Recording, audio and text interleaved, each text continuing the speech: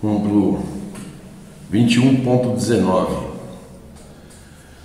Duas cargas pontiformes estão localizadas sobre o eixo X do seguinte modo. Então vamos desenhar o eixo X aqui. É, uma carga está no ponto menos 0,6. Então aqui eu vou colocar a origem. Ó. Com menos 0,6 tem uma carga. Essa carga que está localizada aqui em menos 0,6 metros vale menos 1,5 nanocoulomb. Pois tem uma carga Q2 que está localizada na origem. Carga Q2 está localizada na origem e essa carga vale mais 3,2 nanocoulomb. Qual é a força resultante que essas duas cargas exercem sobre uma terceira carga, Q3, que está localizada num ponto menos 0,4. Então ele está localizado aqui uma outra carga, uma distância aqui de menos 0,4. E essa carga vale mais 5 nano. Então ele quer saber a força resultante aqui. Como ele quer saber a força resultante aqui, o que, que a gente vai fazer? Vai ter que analisar em separado. Carga 1 com carga 3.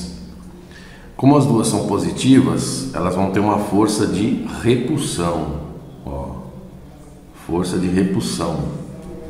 F13. Então, F13 vai ser a força entre carga 1 e carga 3 sobre a distância delas ao quadrado. Mas vamos olhar, carga 2 e carga 3. Uma é positiva, outra é negativa. Então vai gerar uma força de atração, ó. Porque uma é positiva e outra é negativa. Então aqui eu tenho uma F23 e aqui eu tenho uma F23.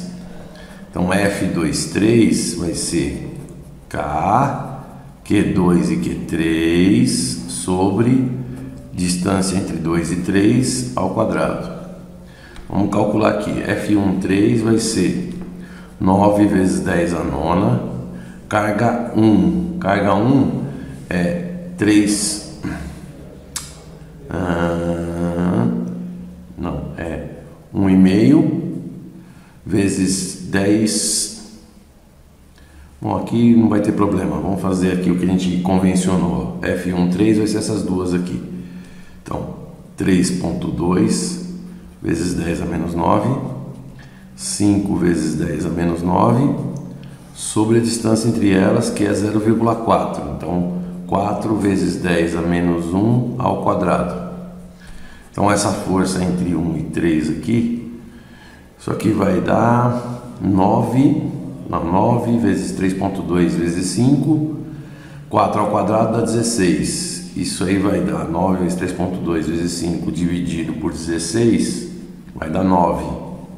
10 a nona com 10 a menos 9 vai cancelar. 10 a menos 9 aqui, eu vou ter 10 a menos 2 embaixo. Sobe menos 9 com mais 2 vai dar menos 7.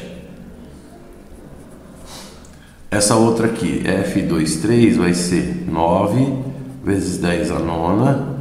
Agora eu vou usar 5 vezes 10 a menos 9, a outra 1,5 vezes 10 a menos 9, dividido pela distância entre elas, que aqui no caso, se eu tenho 0,4 aqui, essa distância vai ser de 0,2. Então vai ficar 2 vezes 10 a menos 1 ao quadrado. Então F23 vai ser 9 vezes 5 vezes 1,5 dividido por 2 ao quadrado.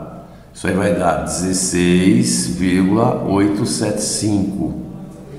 9 cancela com menos 9. Menos 9 aqui, eu vou ter 10 a menos 1 ao quadrado, vou ter 10 a menos 2. 10 a menos 2 é subir 10 ao quadrado. 10 a menos 9 com 10 ao quadrado vai dar 10 a menos 7. Então olha só, na carga, que é o que eu quero, que é essa carga aqui, eu tenho as duas forças apontando para baixo. Quer dizer, eu tenho aqui ó, uma força F23 e uma outra força F13.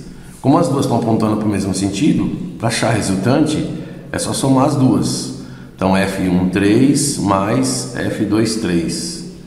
Isso aí vai dar é, 25,875 vezes 10 a menos 7 newtons, que seria indicando para baixo, direção seria a direção de y, que é j, o sentido, como está para baixo, é negativo.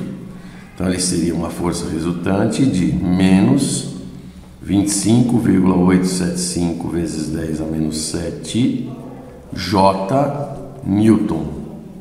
Como eu tenho a menos 7 aqui, posso fazer aquela regrinha, né? Então isso aqui vai ficar é, menos 2,5875 micro Newton J.